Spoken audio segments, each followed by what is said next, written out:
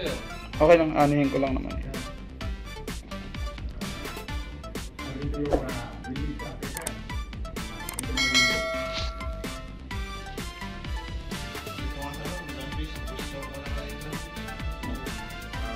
Nababalo na tama. Okay pa lang muna eh, nababalo na ngayon eh.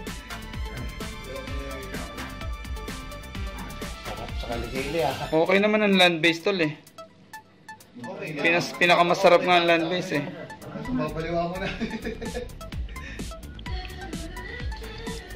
May ma- may problema lang na ko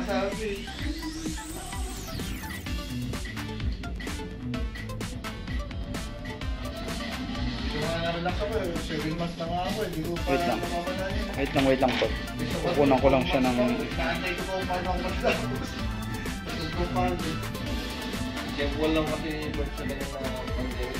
Ako hindi naman gano'n, kaya rin ako. Mas ako na. Kasi relax talaga sa ko. Kasi dati, dito talaga ako, nagpapako kay Utol. Dati, may nakasabong